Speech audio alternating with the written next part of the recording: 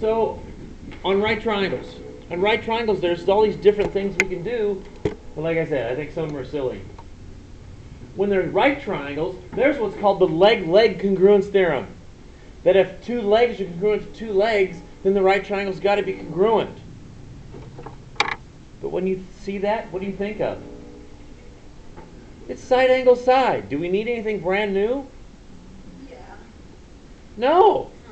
Forget it. It's oh, you don't even know what a side angle side is yet. Come on. Okay.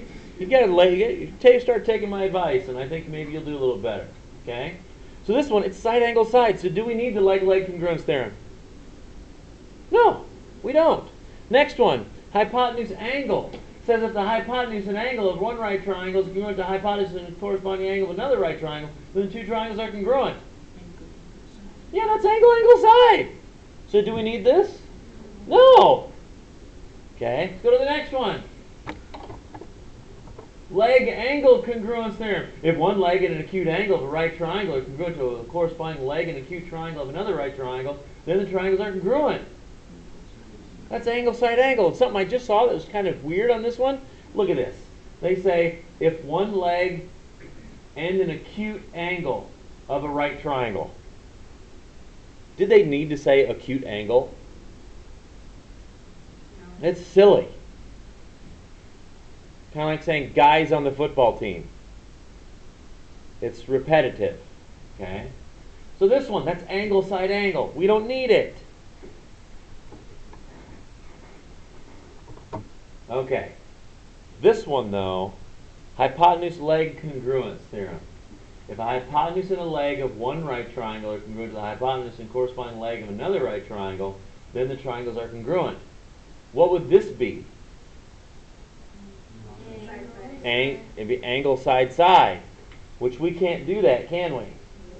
Now, the, re- the thing before, we said that, hey, those can't form an angle side side might form two different triangles. And you might remember the way we justified it was this. We drew this situation and we said, hey, I've got that side, that, okay, thank you. Well, there you go, communication. You guys are getting better. Okay? Um, so in that situation, I said angle side side because what could I do with, and I said that wouldn't work because what could I do with this other side? Yeah, I could swing it in, right? And I would still have the same exact information. Okay? But it just so happens if this side is exactly the magic length that makes it a right triangle, could we swing it out and have it still connect? No. Could we swing it in and have it connect? No. So there's only one triangle formed by this situation, and it's a hypotenuse and a leg.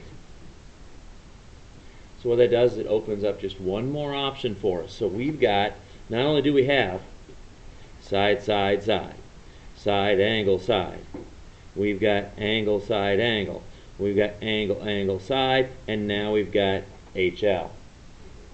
HL means if a hypotenuse and a leg on this triangle are congruent to this hypotenuse and a leg over here, then what can we conclude? Triangles are congruent. So these are all acceptable postulates with which we can prove two triangles congruent. So there's your list of five. That list will never grow. That's as long as that list can be. Unless you want to throw leg leg in there and use it instead of angle side or side angle side. You know, that's just kind of goofy. Okay? So HL. So when are we going to use situations like that? Well, if I have a triangle like this and triangle like this, maybe we can even do a back to back and I say um, those two are congruent and that's a right angle. I know that's enough for these two triangles to be congruent because I got boom. Are the hypotenuses equal? Yes. Is there a leg equal in both? Yes. Is it a right triangle? Yes. If it's an HL, we can say that they're congruent. Okay. So we're going to talk about we're going um, to deal with that today. HL is just a simple extension.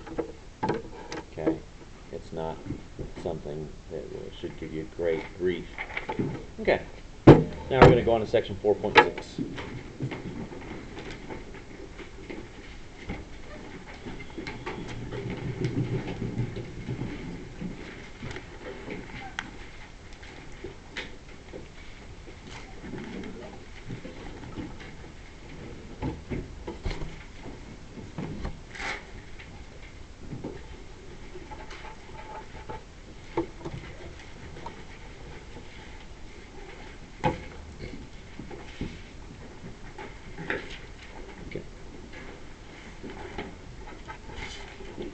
Isosceles and equilaterals.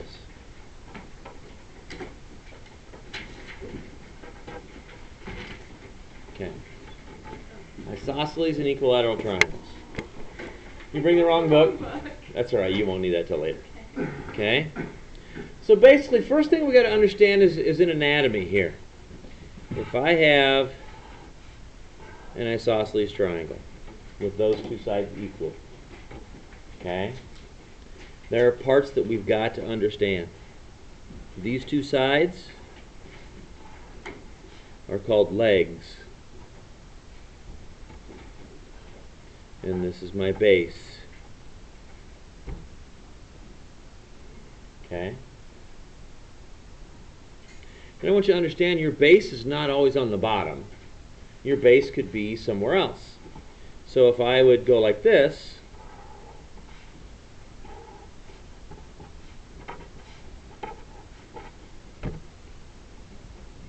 what's my base? BC is my base, and my legs would be A, A, B, and AC. Okay? So like say if I say if I take um, say if I take Colton, he's standing there.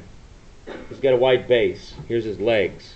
If I knock him down on the floor, well, these are still his legs. And then his base is not on the floor anymore. Smooth move, X-Lax. Stuco? Yeah. Okay.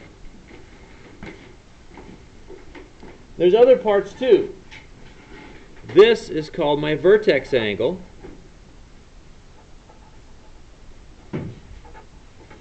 Okay. And these, if you're going to give these angles a name, what would you call them? They're base angles because they're formed by the base. Okay? Base angles. Okay? So before we under, you know start talking about all these different parts and pieces, you got to understand what the vocabulary is. Okay? So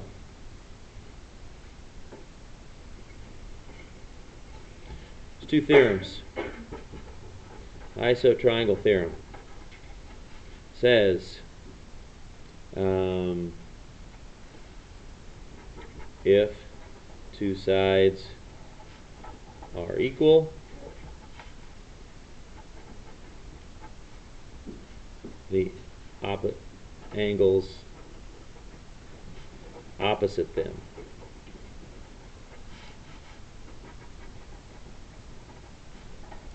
are equal. i.e.,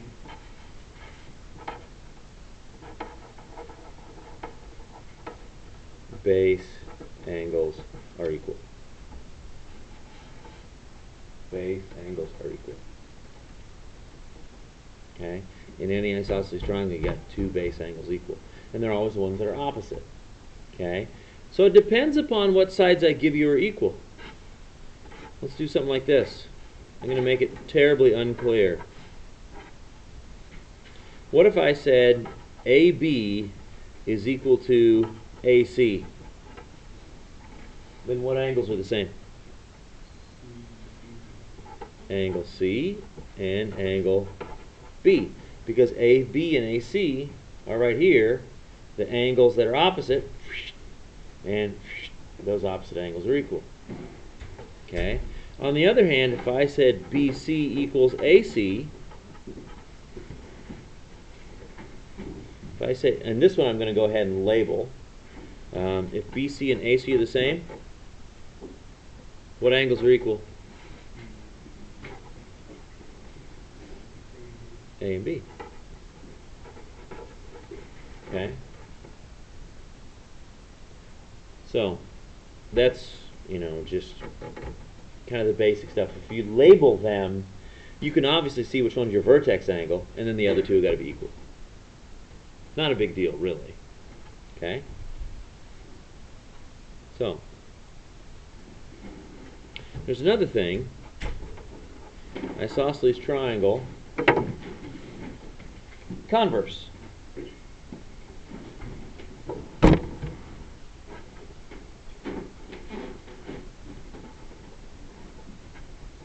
Gee, converse means we're going to go backwards.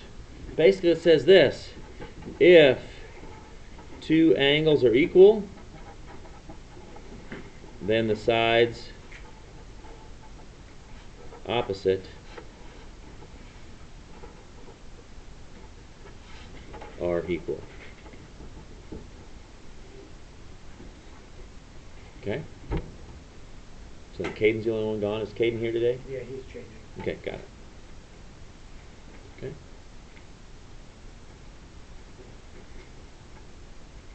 So in this particular situation, let me just kind of come up with A, B, C.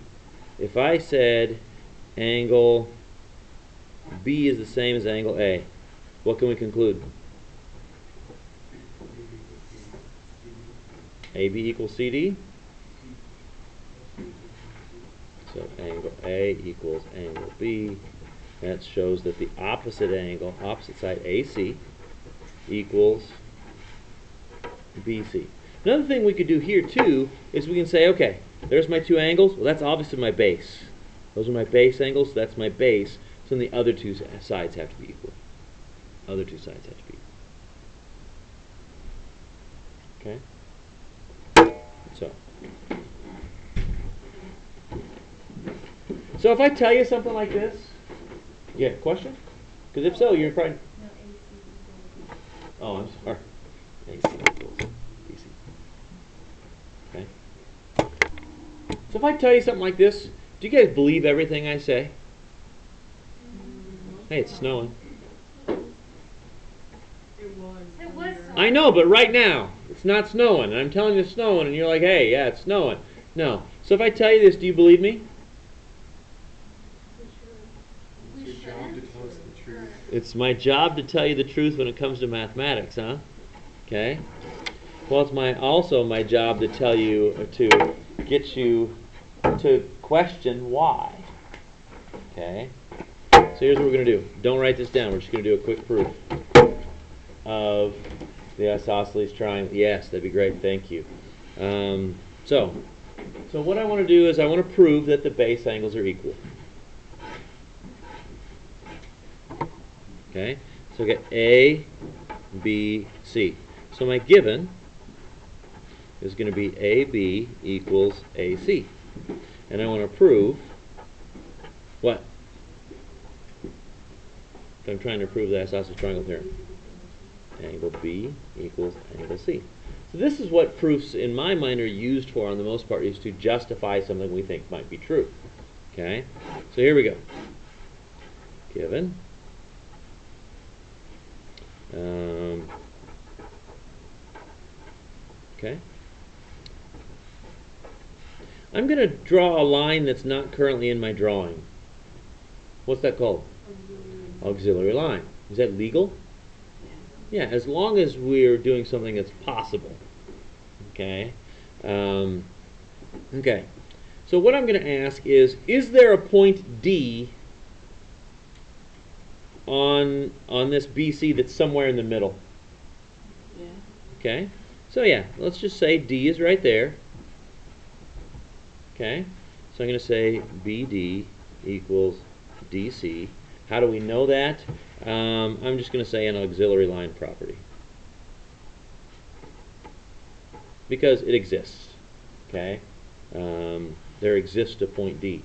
So if I draw this, then let's label for some things. AB is the same length as AC. Does anybody see where we're going with this? What are we going to do? You, you help me. AD equals AD. Why? Reflexive. And then 4. And triangle ABD is congruent to triangle ACD. Side, side, side. 5. CPCTC, which has to be used after triangles are congruent or uh, side, side, side. Angle B is equal to angle C. Okay? Does this step freak you out? Yeah. Okay? Let me just ask this question. Does point does such a point exist? Yes. So we can add whatever we want as long as it exists. Okay? Um, so then I connected that and go, hey, look at that. And then we could also do all these other things too. So this first one, we said that those two are equal. What can I say about angles 1 and 2? They're both equal, so they have to be 90 degrees. So then, if I drop it down to the middle, it's perpendicular. And what's true about angles 3 and 4? They're equal. So um, if I drop this down to the middle, what does it do to this angle? It bisects. There's all different sorts of things that happen in an isosceles triangle. Okay? And it all comes from this basic proof right here. So today we're not getting we're not getting totally uh, deep dive into 4.6 with isosceles and equilateral triangles, but we're just um, getting across the main information.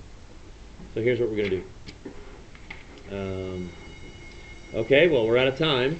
No. Let me grab it.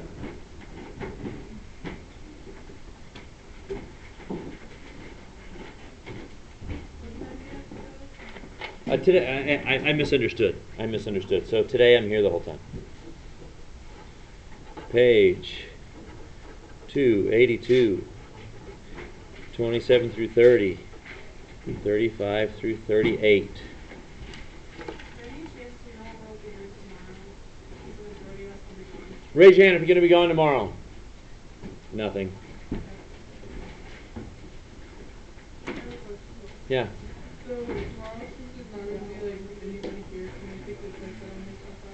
Yes. Page two, eight, four, seven through nine, and fourteen. That's piece. Of, that's that's um, hypotenuse leg information. Okay. Yes. Thirty-five through thirty-eight. Okay. And then we have page 289. This one's going to be the real fast part. 9 through 20. Okay. For those that showed up late. Yes. Yes. For those that showed up late. Um, we have a new way to prove two triangles congruent. Okay. Remember how you, you made a comment the other day that if when I was talking about an angle side side situation, how we could swing it in, swing it out, and you said, well, what if it was 90? There'd only be one. Do you remember that comment? Because I do.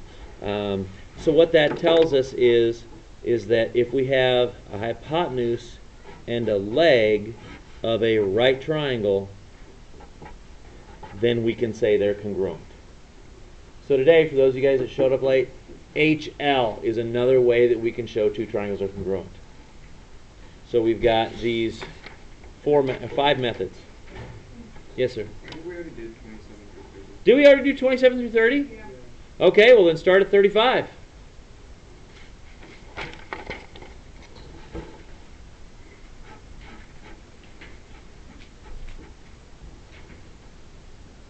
So yeah, HL is just like angle side angle, but if we have a hypotenuse congruent to hypotenuse, a leg congruent to leg, we can go, aha! Those triangles are congruent. Hey, we haven't all been Um, yes, it was, I will write it up, it's 12, 13, 14 on uh, practice sheet with graphing calculators. Yes. Yeah. That's the or. I always remember the and looks like an A. Yeah. An and looks like an A. Maybe an or you could think everything is going to funnel in and be part of it. I don't know. So you go